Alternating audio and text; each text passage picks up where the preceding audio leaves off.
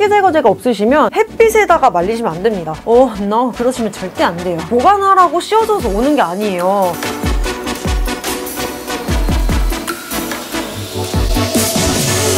여러분 안녕하세요. 에스더입니다. 와 저 며칠 전까지만 해도 패딩이랑 프리스 입고 다녔는데 이제는 진짜 더워서 더 이상은 못 입고 다니겠더라고요. 친구가 이제 겨울옷 보관해야 되는데 어떻게 해야 되냐고 저한테 물어보길래 어 이거는 여러분들한테도 알려드리면 좋을 것 같아서 오늘은 옷 보관, 옷 관리법에 대해서 알려드릴게요. 자 일단 모든 옷은 세탁 후에 보관을 하시는 게 좋아요. 왜냐면 우리가 옷을 입으면서 뭐 비도 맞고 땀도 흘리고 또 여러 가지로 오염이 되었을 가능성이 높기 때문에 때문에 그대로 보관을 하시게 되면 세균이 번식이 되면서 곰팡이가 필 수도 있어요. 자 그럼 첫 번째로는요 바로 니트인데요. 저 같은 경우에는 니트를 세탁을 안 하고 보관을 했다가 몇 개월 뒤에 꺼내서 봤는데 제가 발견하지 못한 오염들이 그대로 그냥 고착이 돼버려서 버린 니트들이 되게 많거든요. 그래서 시간이 지나기 전에 오염이 생기면 바로바로 바로 세탁을 해주시는 게 좋은데요. 이제 저 같은 경우에는 뭐 먹다가 이제 옷에 딱 흘리잖아요. 그러면 바로 행주에다가 주방 세제를 조금 묻혀갖고 살살 이렇게 비벼주면 고게 또잘 젖은 있습니다 여러분. 그래서 음식물 같은 게 묻었을 때는 주방 세제 화장품 같은 게 묻었을 때는 폼클렌징을 이용해서 지워주시는 게 좋아요. 이거는 뭐 니트뿐만이 아니라 뭐 다른 옷도 마찬가지예요. 뭐 면이나 그런 옷들도 빨리빨리 지워주시는 게 좋아요. 자 그럼 본격적으로 니트를 어떻게 세탁하냐? 일단 니트를 세탁하기 전에는 보풀 제거기나 쪽가위 만약에 그게 없다면 이런 눈썹 칼 있잖아요. 이런 거 다들 쓰시잖아요. 이런 걸로 쓱쓱 니트의 결대로 보풀을 먼저 제거해주세요. 그리고 중성세제 이 울 샴푸로 세탁을 해야 되는데요. 세탁기 세탁기에 돌리는 게 가장 쉽겠지만 이제 니트는 굉장히 섬세한 아이라서 세탁기에 그냥 막 돌리게 되면 이 친구가 이렇게 쪼그라들어 버릴 수가 있어요. 그러니까 되도록 손빨래를 하시는 게 좋은데요. 그래도 나는 손빨래는 귀찮아서 그냥 세탁기로 할 거야 라고 하시는 분들은 니트를 세탁망에다 넣고 울 샴푸를 넣어서 30도 정도의 미지근한 물로 울 코스로 세탁을 해주세요. 그 세탁기 보면 다 울 코스가 있을 거예요. 그리고 손빨래하는 방법으로는요. 대야에다가 미지근한 물을 받고 이 울 샴푸를 풀어서 니트 니트를 넣고 한 5분 정도 담가주세요. 만약에 너무 뜨거운 물의 온도면 니트가 줄어들 수도 있으니까 그거는 꼭 주의하시는 게 좋아요. 그리고 막 세게 비벼서 이렇게 빨지 마시고 조물조물 눌러서 가볍게 빨아주세요. 그래야지 니트 변형이 적어요. 그리고 깨끗한 물로 헹궈주고 가볍게 물을 짜고 마른 수건으로 두드리면서 물기를 제거하거나 아니면 세탁기로 하시려는 분들은 세탁망에다가 넣고 탈수 강도를 약하게 해주세요. 그리고 건조할 때 옷걸이 같은 데다가 걸어서 건조하지 마시고 마시고 눕혀서 건조를 해주세요. 옷걸이 같은 거에다가 건조를 하시면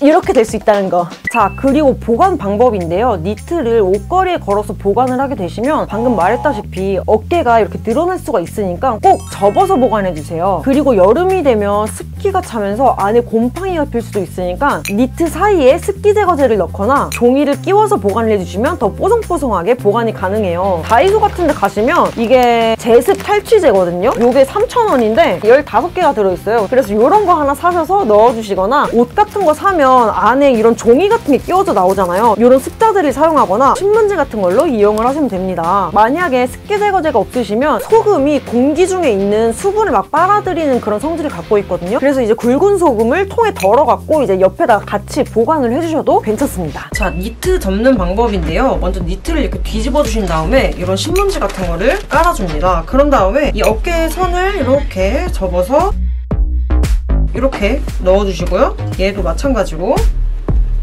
이렇게 접어주신 다음에 얘를 이렇게 접고 이제 여기 이렇게 구멍이 있잖아요. 여기 안으로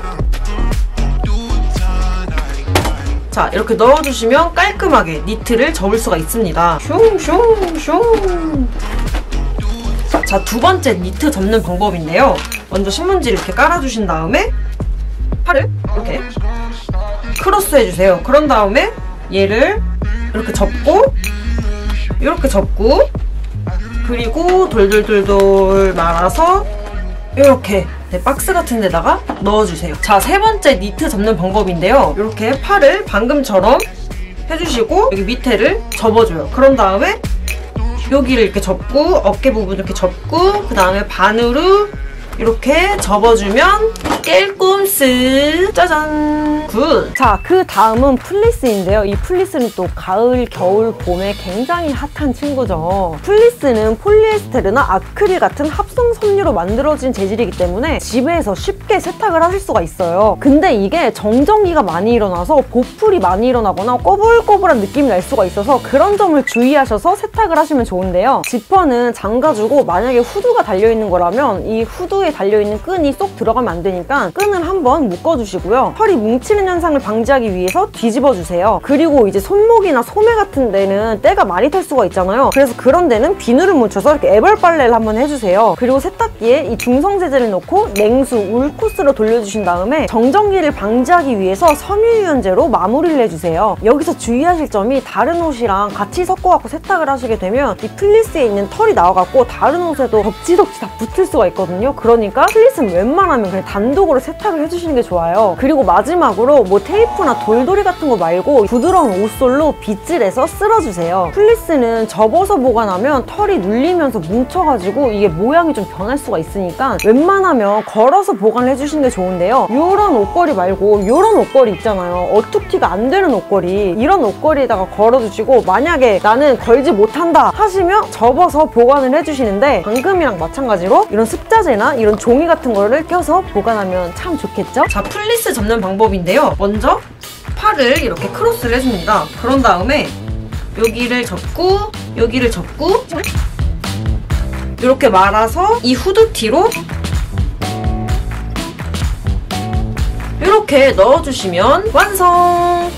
후드가 없거나 긴 기장은 이따가 패딩 접는 방법에서 알려드릴게요. 자, 그 다음은 바로 코트인데요. 코트는 항상 세탁소에 드라이 클리닝을 하고 보관을 해주시는 게 좋아요. 더러우면 보관하면서 통풍이 안 되니까 곰팡이나 진드기가 생길 수가 있으니까 깨끗한 상태로 일단 만들어주세요. 드라이 클리닝은 여러 번 막 안 맡기셔도 되고 보관하기 전에 1년에 한 번, 한 번만 해주셔도 괜찮습니다. 일단 클리닝을 맡기고 오면 습기나 아니면 클리닝 약품 냄새 같은 게 남아 남아있을 수가 있으니까 한 하루 정도는 그늘에다가 말려주시는 게 좋아요. 햇 빛에다가 말리시면 안 됩니다. 그러면 이제 변색이 올 수가 있어요, 여러분. 아, 그리고 또 주의하셔야 될 게 클리닝 하고 오면 그 비닐 커버 같은 거 이렇게 씌워서 오잖아요. 그게 왜 씌워져서 오냐면 비닐 그대로 보관하라고 씌워져서 오는 게 아니에요. 그 세탁한 옷에 먼지가 묻거나 뭐 이동 중에 좀 오염이 될 수도 있으니까 그런 거를 좀 방지하기 위해서 이렇게 커버를 씌워주는 거거든요. 근데 만약에 그 비닐 그대로 보관을 계속 하시게 되면 비닐이 통풍이 안 되잖아요. 그래서 탈색이나 변색을 일으킬 수가 있으니까 그 비닐을 꼭 벗겨서 보관 을 해주세요. 그냥 갖고 오시면요. 일단 비닐은 벗기세요. 만약에 코트에 작은 오염이 있다고 하시면 중성 세제를 물에다가 풀어서 얼룩을 문질러서 이렇게 지워주세요. 그리고 코트도 웬만하면 걸어서 보관을 해주시는 게 좋은데요. 아까 보여드린 이런 옷걸이 말고 이런 코트형 옷걸이로 코트의 어깨가 무너지지 않게 걸어주시는 게 좋고요. 그리고 가장 좋은 게 코트 위에다가 부직포 커버를 씌우고 제습제를 넣어서 보관을 해주시는 게 좋은데요. 부직포 커버가 뭐냐면 코트 같은 거 사면 좀 비싼 거는 이런 거에다가 넣어주잖아요. 이런 거에다가 보관을 해주시거나 어? 나는 저런 부직포 커버 없는데 하시면 바로 다이소에 가시면 있습니다. 사왔습니다. 이런 커버들이 있어요. 이거는 이제 코트 커버인데 길이가 한 120cm 정도로 되게 길게 나왔어요. 가격은 2개에 1,000원입니다. 그리고 이런 거는 짧은 코트나 자켓 뭐 아니면 뭐 블라우스, 가디건, 스커트 뭐 이런 거를 넣으라고 이렇게 적혀 있는데 이거는 세로 길이가 90cm고 2개에 1,000원이에요. 왕 저렴하죠? 커버는 이렇게 생겼는데요. 한 4분의 1 정도만 그 옷이 어떻게 생겼는지 확인하라고 비닐로 돼 있고 나머지는 다 이제 부직포로 되어 있어요. 그래서 이런 거 구입을 하셔서 넣어주시면 좋을 것 같습니다. 만약에 걸어서 보관하는 게 어렵다고 하시면 접어서 보관을 해주셔야 되는데요. 자, 코트 접는 방법 니트 아까 첫 번째랑 똑같아요. 먼저 이런 뭐 버클이나 지퍼 같은 게 있으시면 이런 걸 다 잘 잠가주시고요. 제습제 같은 거 있으면 주머니 같은 데다가 이렇게 넣어주시고 뒤집습니다.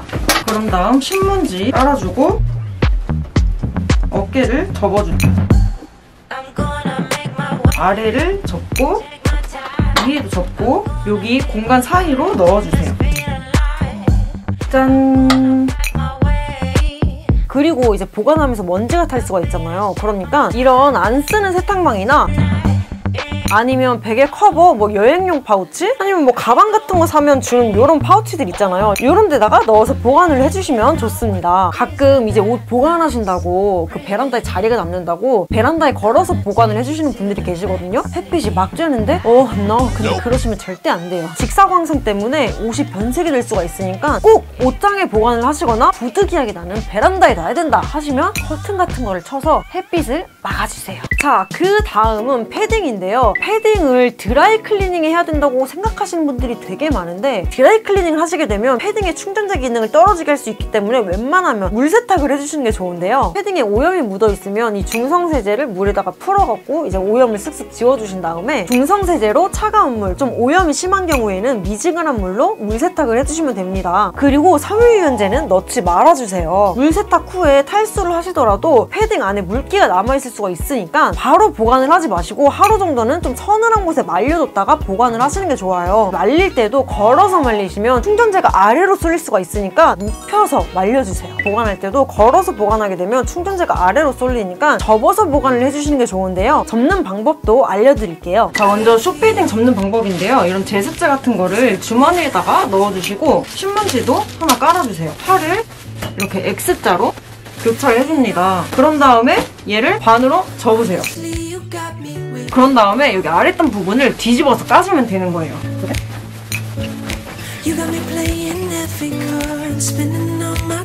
자 이렇게 접어주면 겉면은 때도 안 타고 깔끔하게 접어서 보관을 할 수가 있겠죠? 자 그 다음은 롱패딩인데요. 먼저 이런 지퍼 부분 다 채워줍니다. 자 그 다음에 여기 맨 아랫단 부분을 이렇게 접어주시고 팔은 이 안쪽으로 이렇게 넣어주시고 모자도 접어서 이렇게 한 다음에 이 안으로 짠! 네, 이렇게 접어주시면 됩니다. 참 쉽죠잉?